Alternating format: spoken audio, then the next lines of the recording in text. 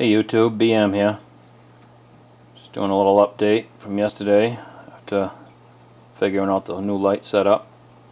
Looking good, I like it. Got it all programmed.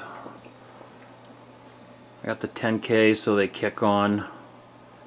They'll run a few hours and then uh, 67Ks will come on for, I got it for 8 hours.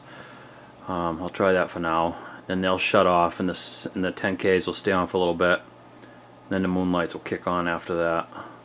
So it's pretty cool. You can really mess with it if um, I mean it's only two bulbs at a 67k so I don't think that's a lot. And like I said I can always change it up uh, change bulbs change um, change the programming. There's a lot of options but I like it um, really brightens it up.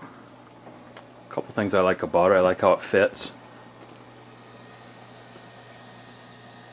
and uh, I messed with this earlier. I actually got my CO2 coming through here so it actually works almost like a little slide here. I got everything so it goes right past everything.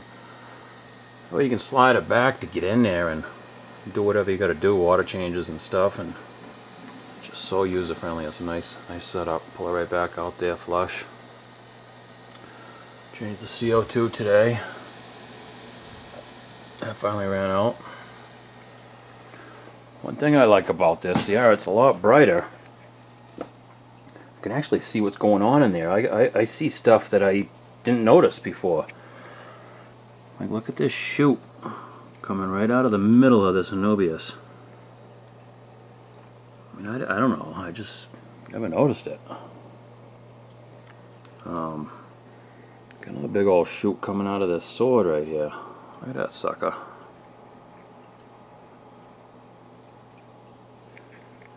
But everything's doing good. Everything's really nice and green.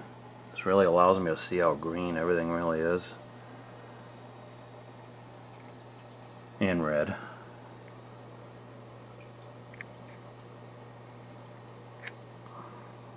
Grass is doing good. I did cut it again today. Did another water change. Hasn't even been a week, but nobody says you have to wait a week. You want to keep your tank looking good. Take care of it. But that's, uh, this sucker's been melting. Has nothing to do with the light. It's been like this for the past week. I don't know what's going on. I'm just going to let it run its course, but it's all melting away. Everything else is doing awesome.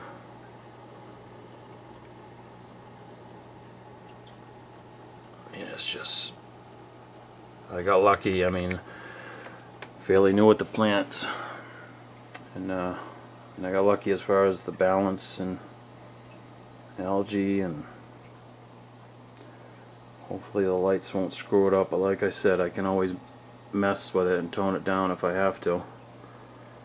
But that wisteria just popping. That thing's just out of control. Everything's doing really good All the fish are doing good. Gouramis, they were just chasing each other around the tree. It was funny. They stop as soon as you break out the camera. You guys know how that is. But everybody else is doing really good.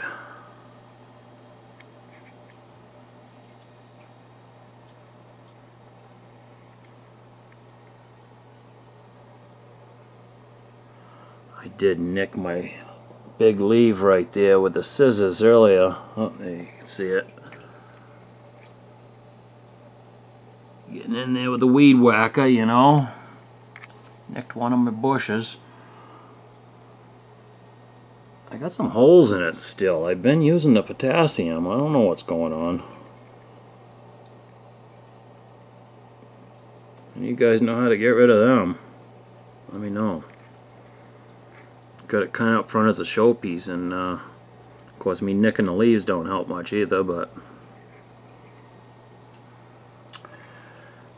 so that's that.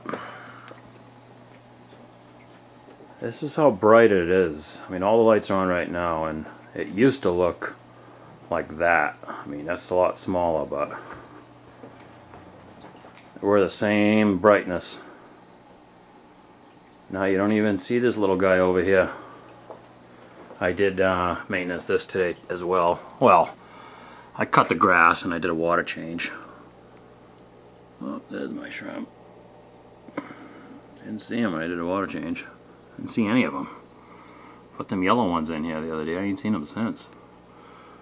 Look at that bush. Shrimp are probably lost in that thing somewhere. That thing's pretty thick and gnarly. I love it. Everything else too is like a jungle in there. Look at that. No CO2. Just uh all natural. Doing good. I'm gonna have to start. I gotta trim some of that up too. That's my floater right there, my water sprite. But the colt is doing good. Just gotta get in here and do a little trimming.